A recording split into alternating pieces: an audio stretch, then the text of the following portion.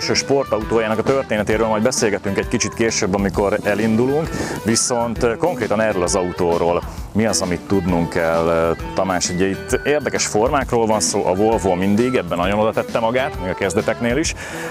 A színe is gyönyörű, szürke, ez miért különleges, te ebbe teljesen bele vagy szerelmesedve.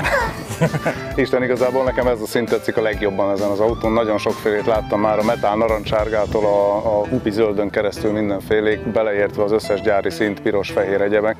Nekem valahogy ez a szín az egyetlen, ami igazán tetszik ezen az autón, ez emeli ki a legjobban a formáit. Hát azért van, még meg tudnék mondani egy-két dolgot, például, hogyha mondjuk megnézed gyönyörű nőt, akkor egyben nézed meg persze, de van, aki kicsit ilyen melmániás, van, aki kicsit fenékmániás. Azt mondod, hogy ennek az autónak a feneke az ez gyönyörű. Fenék, így van, pontosan. Hát ugye ez még a, a, a 60-as évek elején született ez a forma. Ugye akkoriban Amerikában is még a szárnyas autók voltak a divatok, egyértelműen látható ott vannak ezek a gyönyörű kis szárnyak, ami Volvo mintára azért visszafogott, nem olyan, mint egy 59-es Cadillacen például, de ennek az autónak a hátulja az, ami abszolút meg kell fogni szerintem.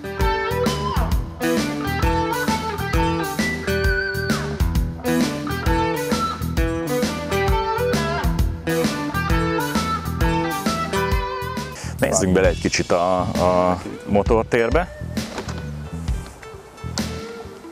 Mert én kérdeztem tőled, hogy megnézzük és azt mondod, mindenképpen érdemes, mert gyönyörű. Hát az. Csak így belekukkantva. Most, amiről, amit erről tudni kell, egy B20-as Volvo blokk, ami ugye ebben az autóban eredetileg injektorosként üzemelt, erről majd még beszélünk később, vissza van szerelve karburátorosra, körülbelül 130-140 lóerőt tudhat most így ebben a formájában, ahogy van. Most ez ehhez a picike kis karosszériához azért elég jó menet teljesítményeket képes produkálni.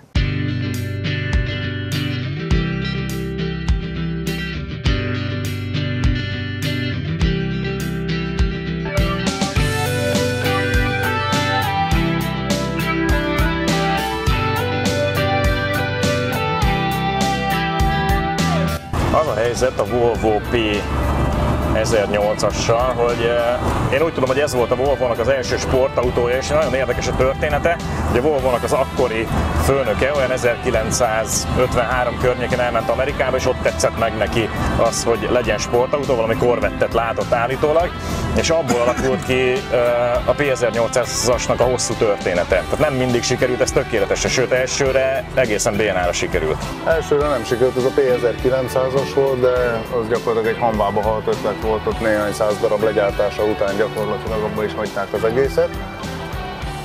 És aztán 61-ben debütált az a P1008-as, amiben most ülünk. Vicces módon a Jaguar E-Type-jával egy időben. Annyi volt a kettő közötti különbség, hogy akkor az E-Type már szállítható volt, a P1008-as pedig még ilyen félig prototípus szinten létezett. De hát ugye ennek is óriási sikere volt szerencsére.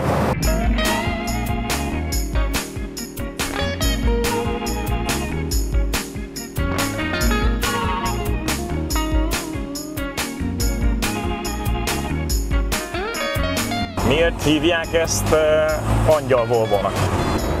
Hát ennek is van egy legendája, igazából szerintem senki se tudja, hogy mennyi igaz belőle. Ezt eredetileg az Angyal című filmnek, vagy filmsorozatnak a készítői a Jaguar E-Type-ot szemelték ki az Angyal autójának, viszont a Jaguar egész egyszerűen nem tartott rá igényt, hogy szerepeljen bármiféle filmben, sorozatban és erre föl ilyen nincs ló jó a szamáris alapon, a P1008-asra esett a választás, és a nagy sikerét többek között ennek a filmsorozatnak köszönheti.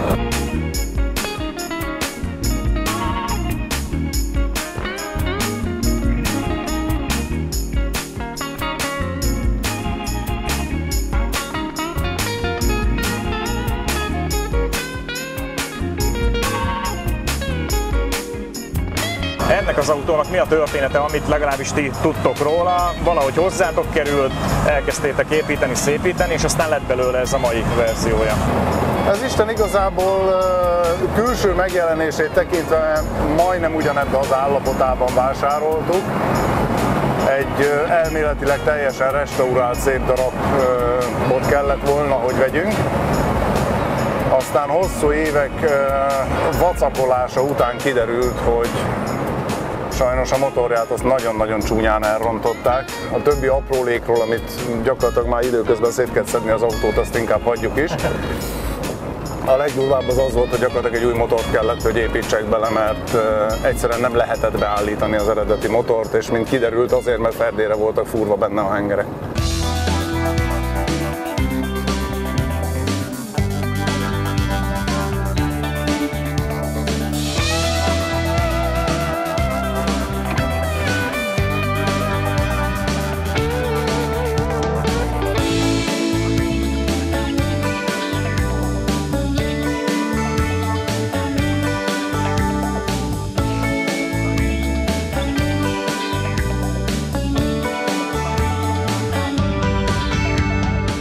Szereted azért meghajtani az autókat, nem csak úgy pátyolgatni, hogy már van egy autód, akkor néha meg kell nézni, hogy mi az, ami kijön belőle. Ezt úgy igazán, igazán meghajtottad?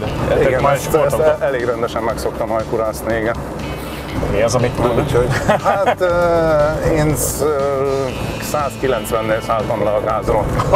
A végén ott még ez ment volna. A hivatalos végsebessége úgy emlékszem, ilyen 190 pár volt egyébként, ez még ott bőséggel tudott húzni. Nekem egy külső egész érdekesen néz ki a váltónak, ez a formája, amit itt mi látunk belőle, tehát így nagyon el van fektetve az egész, belül ott me- meg kell tanulni. Egyébként. Azért van, mert ugye eléggé előre van benne tolva így a motor ugye a fekvőülés pozíció miatt, és ugye mivel nagy szériás alkatrészeket használtak az autóhoz, a váltónak a kulisszája is adott volt, hogy hol van, na most ezt ők így hidalták át, hogy egy ilyen majdnem 45 fokba megtört váltókart raktak rá.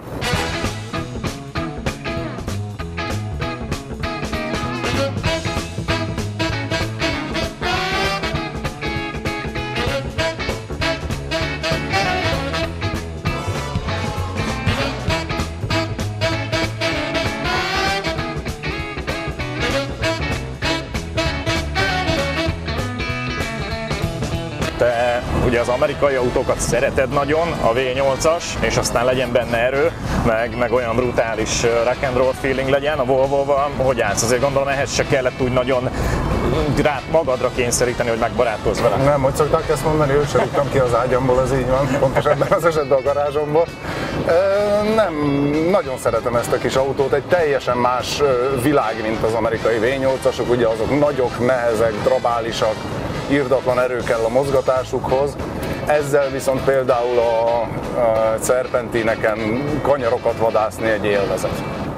Ez az autó, ez tényleg olyan szépen fekszik az úton. Én mindig az úgy szoktam jellemezni, hogy e, igazából négy kerék kormányzása van, az elsőket a kormányjal, a hátsókat meg a gázpedállal lehet kormányozni, és tökéletesen veszi az akadályokat.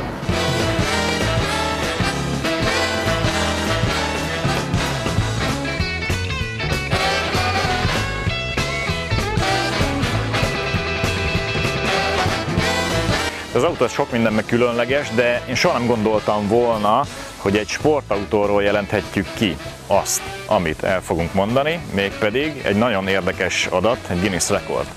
Így van. Ez, az a, ez a típus tartja jelen pillanatban a privát autók közül a legtöbb, legtöbb megtett kilométer rekordját.